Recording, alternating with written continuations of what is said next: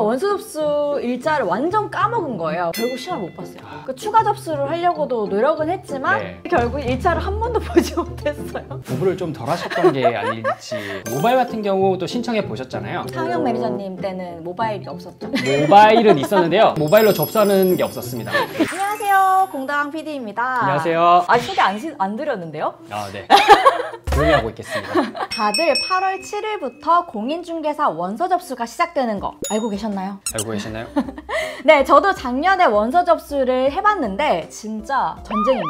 맞습니다 원서 접수 두 번 해보셨잖아요 네, 매번 얼마나 떨리던지 1년 그 열심히 공부한 게 물거품이 될까봐 정말 조마조마했거든요. 이미 원서 접수를 해보신 분들도 있고 안 해보신 분들도 있으실 텐데 제가 오늘 원서 접수를 잘 하는 방법을 가르쳐 드리려고 카메라 앞에 섰습니다. 와 혼자 하는 것보다 에듀윌 학습 매니저님과 함께 하면은 더 많은 정보를 알려드릴 수 있을 것 같아서 모셨습니다. 네, 안녕하세요. 에듀 학습 매니저입니다. 저는 2014년부터 무려 9년간, 횟수로는 올해까지 포함하면 10년간이죠. 네, 원서 접수를 봐왔고요. 오늘 원서 접수하는 방법부터 꿀팁까지 대방출하도록 하겠습니다. 가자! 화이팅!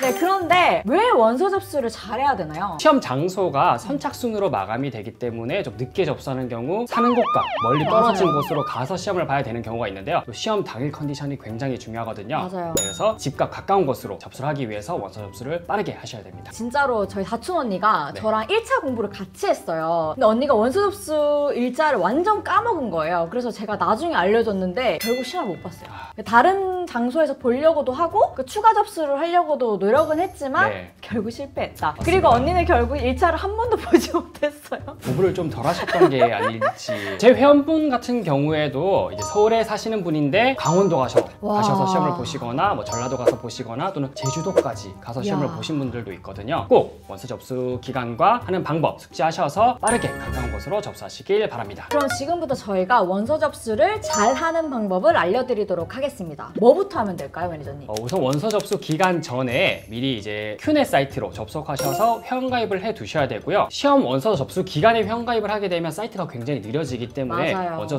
접수를 늦게 하게 되거든요. 회원가입하신 이후에 사진까지 꼭 먼저 등록해 두셔야 됩니다. 사진 같은 경우에도 이제 당일에 업로드하다가 뭐 크기가 맞지 않거나 사이즈가 안 맞거나 형식이 다르다고 막 나오는 경우가 있어서 당황하지 않기 위해서 미리 원서 접수 기간 전에 체크해 두셔야 됩니다. 지금까지가 원서 접수 시험 전에 해야 할 일을 설명을 해드렸는데 네. 원서 접수 당일에는 어떻게 해야 될까요? 원서 접수 기간은 올해는 8월 7일 오전 9시부터 8월 11일 오후 6시까지인데요. 8월 7일 오전 9시 되기 전에 미리 컴퓨터를 켜두시고 그럼요. 네, 큐넷 사이트에 로그인하시고 마우스를 잡고 대기하고 계셔야 됩니다.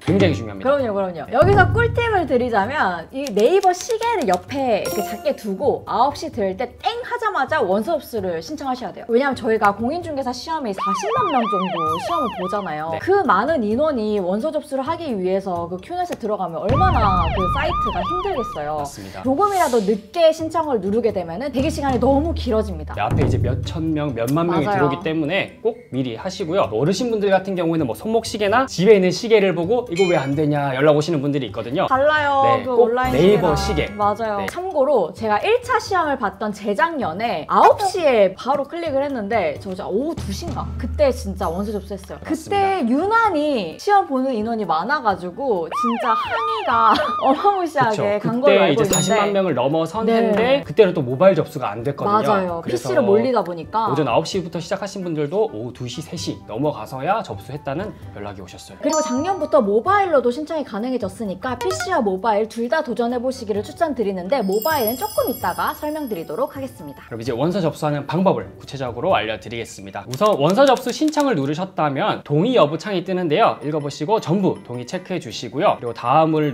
누르시면은 자격 선택이 나옵니다. 여기서 본인의 주소가 맞는지 확인하셔야 되는데요. 회원 정보상의 주소기 때문에 이 부분은 원서 접수 기간 전에 미리 확인해 주시면 좋습니다. 다음으로 넘어가시면 응시 종목명의 공인중개사임을 확인해 주시고요. 확인하셨으면 다음으로 넘어가시고 결격 사유도 확인해 주시고요. 그 다음이 중요한데요. 응시 유형이 나옵니다. 만약에 동차 시험을 준비하신 분이라면은 일반 응시자로 선택하시고 1차 시험만 보시는 분은 1차 시험만 응시자로 선택해 주시면 됩니다. 그리고 작년에 1차를 합격하신 분은 2차 시험만 보면 되는데요. 1차 시험 면제자가 옵션에 있기 때문에 1차 시험 면제자로 선택하셔서 2차 시험만 의시하는 수험자로 선택해 주시면 됩니다. 잘 체크하셔야 돼요. 지금 동차를 열심히 준비를 했는데 1차 시험만 보시면 2차 내년에 보셔야 돼요. 이거 얼마나 끔찍한 일입니까?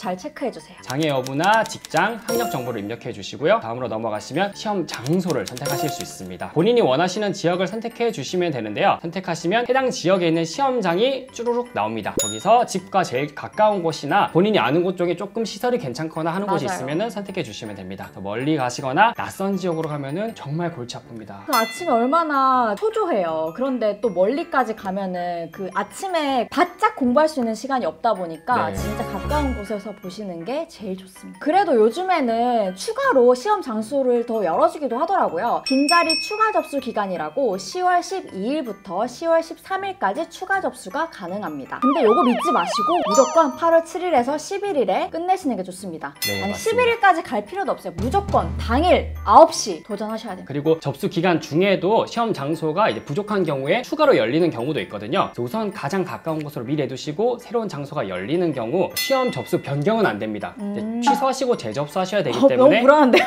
네, 본인이 원하는 시험 장소에 여유가 충분히 있는 경우에 취소하시고 새로 접수하시는 방법도 있습니다. 마지막으로 결제를 하시면 되는데요. 1차 시험만 보시는 경우 13,700원, 공차로 보시는 분들은 28,000원 원서 접수 비용이 발생하는데요. 결제할 때 또 팁이 있죠. 카드로 결제하시는 경우 튕기면 다시 돌아가요. 네. 가상 계좌 무통장 입금을 추천드립니다. 네, 맞습니다. 결제까지 완료하시면 신청 완료 창이 뜨는데요. 여기서 접수 내역이 확인이 가능 하십니다. 그래서 잘 접수하셨는지 체크해 주시면 됩니다. 진짜 원서 접수 한 번 하기 힘드네요. 네, 맞습니다. 그래도 또 장기간 열심히 공부했는데 이중의 비를 거두기 위해서 원서 접수 정말 중요합니다. 혹시 원서 접수할 때 꿀팁 있을까요? 사이트가 느려지기 때문에 이제 답답해서 새로 고침을 아, 네, 자주. 누르시는 분이 있는데요. 그렇게 하시다가 다시 뒤로 가서 줄을 서야 되는 경우가 있습니다. 그래서 인내심을 가지고 기다려 보시고 만약에 정 반응이 없다 하시면 그때 이제 새로 고침 한번 눌러 보시길 바랍니다. 작년부터 모바일 신청이 가능했는데 작년에는 PC보다 모바일 이 더 빨리 신청이 가능하더라고요. 네, 맞습니다. 렉도 안 걸리고 PC와 모바일 꼭 둘 다 도전해 보시기를 추천드립니다. 모바일 같은 경우 도 신청해 보셨잖아요. 네. 혹시 어떻게 접수하면 되나요? 상영 매니저님 때는 모바일이 없었죠.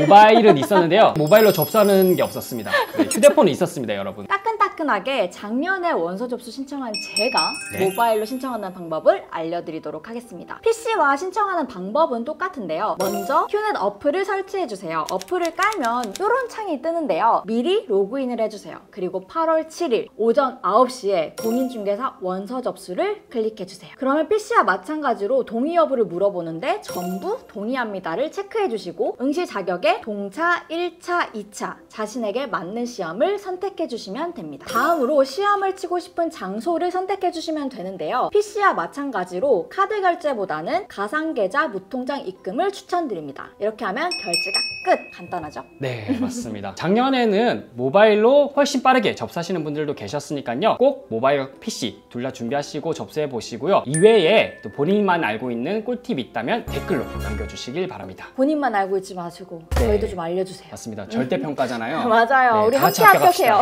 잠깐 원서 접수만 했다고 끝이 아니죠. 에듀윌에서는 원서 접수 기간에 맞춰서 원서 접수 이벤트를 준비를 했는데요. 네. 접수하신 수험표만 인증하면 100% 선물을 드린다고 합니다. 에듀윌 합격 노하우가 그대로 담긴 마무리 점검용 강의, 교재를 드리고요. 백화점 올리브영 상품권부터 커피 머신까지 다양한 경품들이 즉석 당첨되는 럭키박스 이벤트까지 진행 중입니다. 에듀윌에서 공부하는 수험생뿐만 아니라 타사 수강생, 독학생 모두 다 상관없이 다 드린다고 하니까 혜택들 모두 다 챙겨가시길 바랍니다. 특히 합격 패키지 안에는 실전 경험을 쌓으시라고 D-30 전국 실전 모의고사 50% 할인권을 드리고 있는데요. 또 모의고사 정말 중요하잖아요. 너무 중요하죠. 맞습니다. 정말 실전과 같은 환경에서 시험을 보실 수 있는 모의고사니까요. 꼭 신청하셔서 이 혜택까지 받아보시길 바랍니다. 원서 접수 이벤트는 고정 댓글란에 있으니까 꼭 확인해주세요. 원서 접수 꼭 원하시는 곳